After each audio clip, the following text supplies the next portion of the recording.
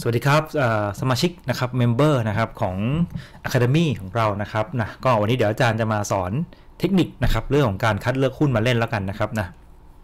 อาจจะไม่ได้จบภายในตอนเดียวกันนะครับนะอาจจะมีหลาย ๆ ตอนก็ค่อยเก็บเกี่ยวความรู้ไปเรื่อยๆแล้วกันนะอะก็อันดับแรกก่อนเลยนะครับทุกคนคงจะคุ้นเคยหน้าจอตัว 4D นี้อยู่แล้วนะครับนะแล้วก็ database ที่เราใช้ในการมอนิเตอร์หุ้นในการเล่นนะครับ ก็จะมีอยู่2 database หลักก็คือเรื่องของ base of the base นะครับหุ้นที่แข็งแรงสุดในตลาดบ้านเรานะครับณตอนนี้มีใครอยู่บ้างนะครับนะส่วนมากหุ้นที่แข็งแรงสุดในบ้านเรานะครับก็จะเป็นแนวโน้มขาขึ้นนั่นแหละนะครับนะโดยเกณฑ์ที่จะเอาหุ้นกลุ่มนั้นออกก็จะเป็นพวก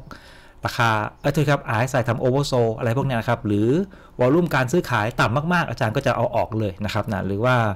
อาร์ไซโอโซแล้วก็จะเอาออกเหมือนกันก็ถือว่าไม่ใช่แนวโน้มขาขึ้นแล้วนะครับก็เดี๋ยวมันก็รอเข้ามาอินรอบใหม่ก็ว่ากันไปนะครับนะใครที่อยู่ในนั้นก็ส่วนมากก็เป็นแนวโน้มขาขึ้น ก็คือยก low ยก high สูงขึ้นเรื่อยๆ โดยธรรมชาติจะเป็นอย่างนั้นอยู่แล้วนะครับในกลุ่มหุ้น best of the best นะครับ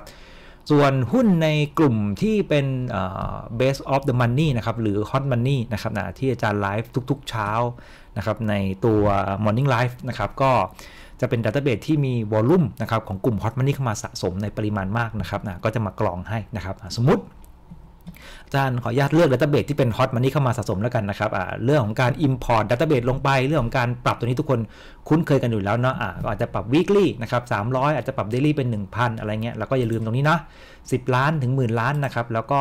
สมมุติว่าตอนนี้เป็นช่วงเช้านะครับก่อน 11 โมงเนี่ยนะครับสมมตินะสมมตินะจริงตอนนี้11 โมงกว่าแล้วแหละ นะครับก็อย่าลืมใช้สูตรนี้นะครับ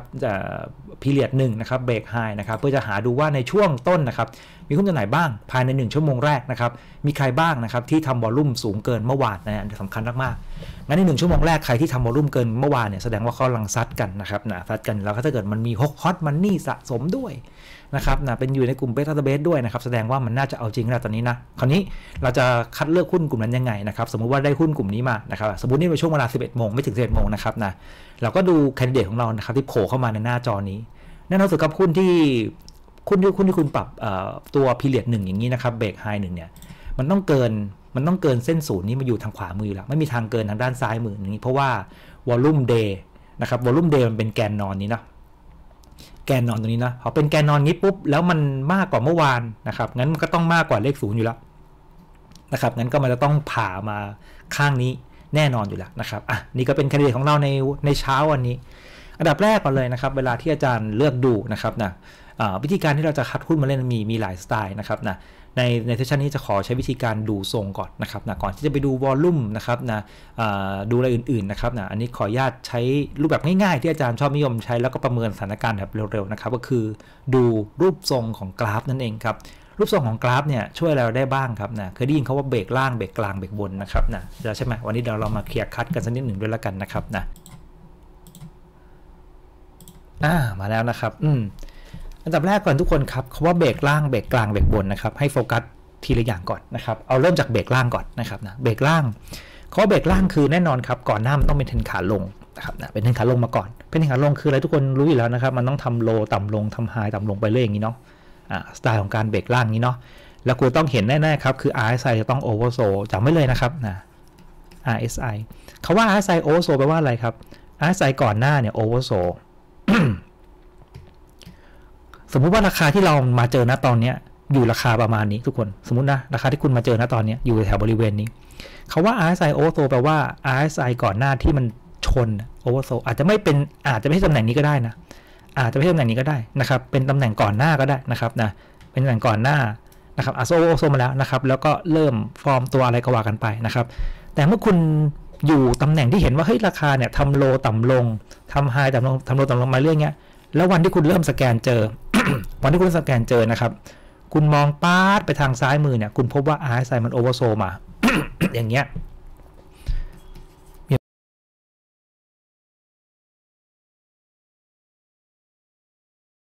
นี่พอคุณได้อย่างนี้มาปุ๊บอันดับแรกคุณเลือก BCPG เดี๋ยวอาจารย์ขออนุญาตใช้ eFin ในการดูกราฟแล้วกันนะครับ จะได้ง่ายๆนะเดี๋ยวเซสชันที่จะไปดูโฟล์อะไรเดี๋ยวค่อยว่ากัน BCPG ครับอะแล้วก็ลองไปเปิดชาร์ต eFin ดูนะครับ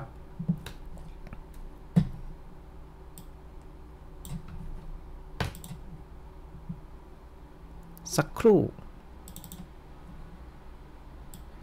อะอันนี้เป็นหน้าจอของ eFin นะครับ อะก็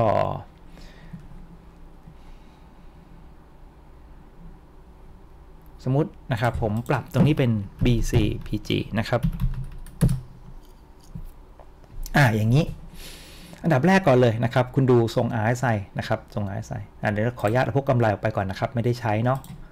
อ่า NVDR นะครับ NVDR เดี๋ยวค่อยว่ากันนะครับ อ่า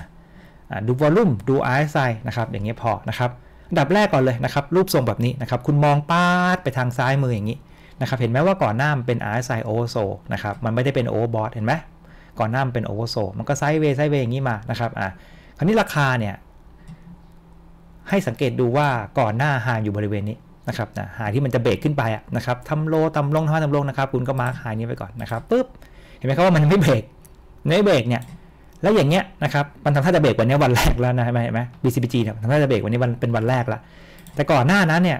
มันมี sideway sideway sideway แล้วก็เบรวดมาหนึ่งครั้งก่อนเห็นไหมครับเนี่ยมันยังขึ้นไม่ถึง high ก่อนหน้าอันนี้นะครับแต่เป็นขึ้นมาแล้วก็ sideway sideway sideway แล้วก็เบรกพรวด ตรงเนี้ยตำแหน่งเนี้ยเราก็เรียกก็เป็นเบรกล่างได้เหมือนกันนะครับเพราะว่าถึงแม้ว่าจะไม่ยังไม่ผ่าน high ตรงนี้นะแต่การ sideway sideway มานานแล้วเบรกพรวดอย่างนี้ ก็ถือว่าเป็นเบรกล่างได้เหมือนกัน งั้นคุณก็จะได้ราคาตรงนี้นะครับอ่า เป็นราคาแท่งแรกนะครับนะแล้วก็ stop loss เราเดิมอะไรก็ว่ากันไป เรื่องเรื่องของการ stop loss เดี๋ยวค่อยมาหาคำตอบเดี๋ยวค่อยมาสอนกันอีกรอบหนึ่งนะ วันนี้ดูแบบรูปทรงของกราฟก่อนนะครับอ่า กำลังเรียนสนุกกันอยู่เลยใช่ไหมครับทุกคน อาจารย์ขอบอกว่าเนื้อหาที่คุณกำลังเรียนอยู่นี้นั้นนะครับ เป็นเพียงแค่ส่วนหนึ่งในอีกหลาย ๆ เนื้อหาครับที่อาจารย์จะมาทยอยอัปเดตให้ทุกคนได้เรียนเรื่อย ๆ ทั้งหมดนี่ฟรีครับ เพียงแค่เปิดพอร์ตผ่านการแนะนำของอาจารย์จิมง่าย ๆ แค่นั้นเองครับ นอกจากเนื้อหาการเรียนแล้วนะครับ ยังมี service ต่าง ๆ ให้ใช้งานฟรีอีกมากมายครับ เช่นพวก alert message ต่าง ๆ ครับ คอยเตือนภัยเวลาที่ตลาดดีหรือว่าตลาดแย่นะครับ ทั้งหมดนี้ก็ฟรีอีกเช่นกันครับ มาเรียนรู้ไปพร้อมกันแบบยาว ๆ ต่อเนื่องได้เลยครับ อยากเรียนต่อใช่ไหมครับ เพียงแค่สแกน QR Code ตรงนี้ครับ หรือพิมพ์คำว่า w w w o p e n a c c o u n t t r a d e ไม่ยากเกินไปใช่ไหมครับ อ้าว เข้าไปเรียนต่อได้แล้วครับผม พบกันนะครับ สวัสดีครับ